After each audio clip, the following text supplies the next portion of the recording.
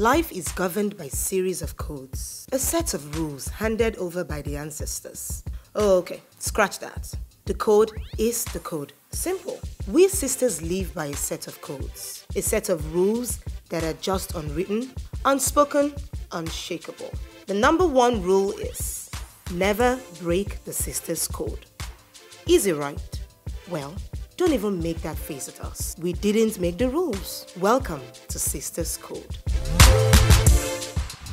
On this episode of Sisters Code, we talk about how to navigate being a side chick. Never get pregnant. Pregnancy, belle. If you get pregnant, what do you think is going to happen? You don't have to get pregnant for someone else's partner when you know very well that you're the side chick. Except you have some grand plan where he leaves, you know, the main chick and then comes to be with you. What if he decide not to be? It will now be on you and your family. Please, no, don't. You should know the rules. Now you're a side chick. Feel that the best way to keep a man is to get pregnant for him. Nah, don't put that pressure on yourself. Never, ever. Always use protection, especially when you are now a side chick. Don't get pregnant for someone else's partner when you know very well that you're the side chick. Have sense. Never get emotionally attached to the guy.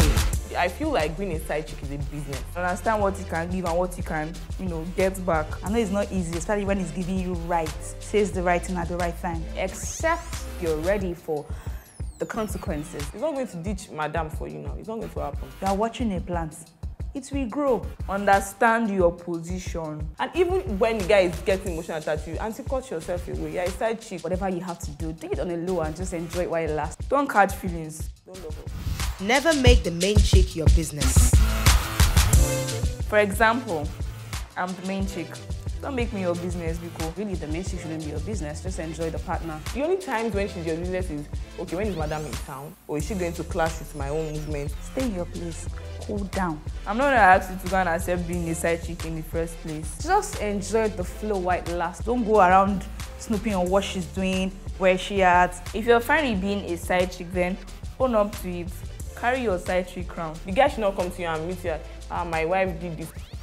How is that my business? So far the guy already has you. Stay on plan B. oh. But don't come and be saying that bitch. Because she's not the bitch. You don't know who the bitch is anyways. You are even sharing with someone without permission. Ah. Never go out in public together. You can go out in public together if you're a good actor. Except of course you want some acid on your face. If you are good at hide and seek, my fair. Even if you want to go out, maybe you should just go out at night when you know no one is actually seeing or looking. The lovers, you know, in confided areas, try as much as possible not to go to where people that know him or people that know you are. If you know that when you meet madam or like you meet madam sister, you can just do, ah, good afternoon, I'm his cousin. Because when you are caught, me, I'm not there. oh. Trust you're going to get really hot. You don't want to know what's going to come out of it. If you want to go out, maybe you can go to Paris or something. For safety reasons, keep it toned down, low key. It's a no. Never divulge anything about the relationship to anyone.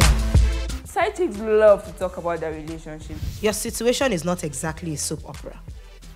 Flourish in the knowledge of your secrets. The way things are going now, hmm, just need to tell somebody about what's happening. You know how girls can be sometimes, like very selfish. Let them know that he's not my boyfriend though, I'm the side chick. oh, Before they start posting relationship goals. make sure that it's someone that can actually keep your secret. It doesn't change the fact that you're probably dating someone that's married and then you are still the side thing. Don't go around spreading it that that's my guy. You don't want someone to pass it on. Don't make it a public matter. Just keep it to yourself and enjoy it. Do what is best for you. Upgrade.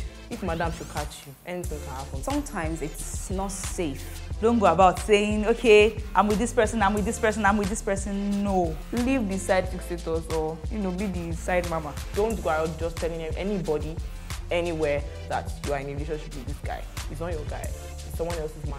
Don't. Remember, some rules are meant to